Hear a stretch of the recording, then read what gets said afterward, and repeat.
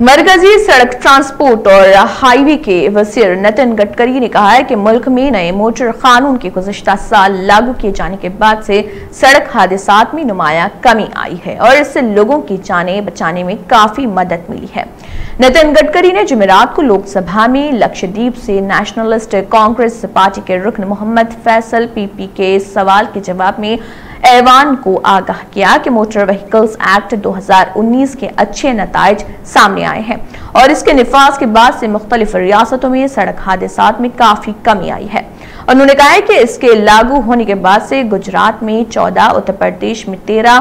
منی پور میں چار، جموں کشمیر میں پندرہ آندھر پردیش میں سات، چندی گڑھ میں پندرہ اور دہلی جیسے اہم ریاستوں میں دو فیصد سڑک حادثوں میں کمی آئی ہے۔ صرف کیرلا اور آندھر پردیش ہی دو ایسی ریاستیں ہیں جہاں سڑک حادثوں میں بال ترتیب چار اشاریہ نو اور دو اشاریہ سات فیصد کا اضافہ ہوا ہے۔